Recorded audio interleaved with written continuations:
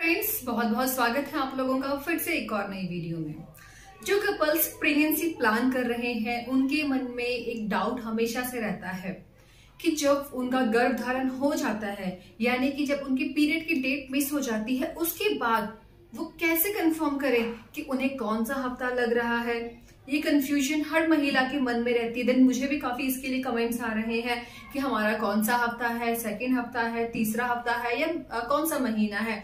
तो इसको लेकर आज की वीडियो होने वाली है तो प्रॉपर डिटेल्स में हम बात करने वाले हैं कि पीरियड मिस होने के बाद कैसे आप कंफर्म करें कि आपकी प्रेगनेंसी कितने सप्ताह या कितने महीने की हो चुकी है।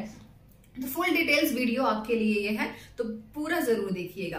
तो फ्रेंड्स देखिए, सबसे बड़ा कंफ्यूजन रहता है, अगर आपका पीरियड मिस हुआ, आपने यूपीटी किया ठीक है कंग्रेचुलेशन आप प्रेग्नेंट हो चुकी हैं। उसके बाद आप हॉस्पिटल जाती हैं डॉक्टर्स को भी आपको बताना होता है कि आपके पीरियड मिस कब हुए तो डॉक्टर आपको कैलकुलेट करके बताते हैं कि आपका कौन सा सप्ताह या कौन सा महीना चल रहा है। महीना तो हम इजीली कंफर्म कर सकते हैं कि हमारे पीरियड की डेट मिस होने के बाद से ही हमारा सेकेंड महीना स्टार्ट हो जाता है। लेकिन हमारी प्रेगनेंसी ठहरती कब है? हमारा कौन सा सप्ताह चल रहा है? क्योंकि जब हमारे पीरियड मिस होते हैं, उससे ही हम डे वन काउंट कर लेते हैं। तो क्या उस टाइम तक हमारा गर्भधारण हो चुका होता है? तो बात करते हैं, अगर आपको एक तारीख को पीरियड्स आए, तीन से चार दिन महिलाओं को पीरियड्स रहते हैं तो एक से लेके सात तारीख तक, पहला सप्ताह, इस समय आपको ब्लीडिंग हो रही है। देन आपके ओवरी में एक फॉलिकल पक रहा है मेच्योर हो रहा है। जब फॉलिकल एक मैच्योरिटी लेवल तक मतलब अच्छे तरीके से हो जाएगा कि हाँ अब वो रेडी है आगे जाने के लिए तो सेकंड सप्ताह आते आते वो फॉलिकल अच्छे तरीके से पकने के बाद मेच्योर होने के बाद, आपके ओवरी से फूट कर आपके फैलोपियन ट्यूब में आता है। एट दैट टाइम अगर आप रिलेशन मेंटेन करते हैं तो उस टाइम में आपका फर्टिलाइजेशन का प्रोसेस होता है। यानी कि मेल स्पर्म और फीमेल एग जब आपस में मिल जाते हैं तो वो काफ़ी सेल्स में डिवाइड हो जाते हैं।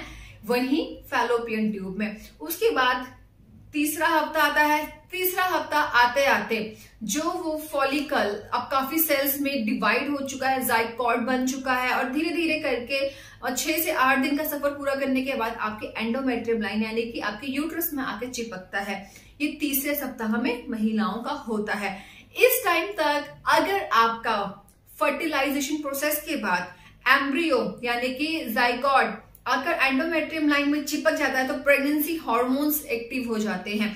और यहीं से आपका पहला सप्ताह, यानी कि आपका गर्भ धारण का प्रोसेस स्टार्ट हो जाता है।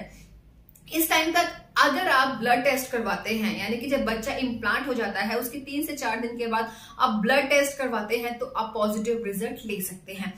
फिर भी डॉक्टरी भाषा में समझे तो अभी आपका गर्भ धारण है। ये नेचुरल सा प्रोसेस होता है। इंटरनली तो आपका गर्भधारण हो चुका है, लेकिन डॉक्टरी भाषा के अकॉर्डिंगली अभी भी नहीं हुआ है।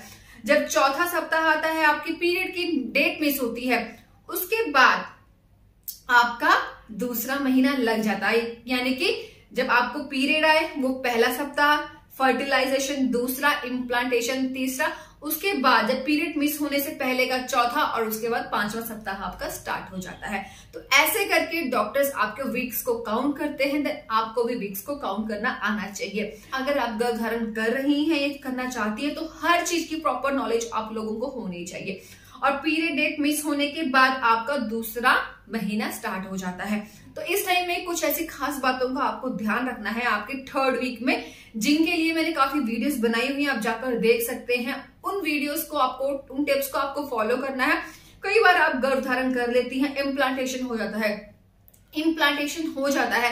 लेकिन छोटी छोटी गलतियाँ आपके इम्प्लांटेशन को खराब कर सकती हैं। तो ऐसी भूल चूक आपसे ना हो तो उन वीडियोस को प्लीज़ मेरी हम्बल रिक्वेस्ट है, जाकर ज़रूर देखें। तो वीडियो कैसी लगी मुझे ज़रूर बताइएगा। अब कल मिलते हैं सेम टाइम में एक और नई वीडियो में। नमस्कार।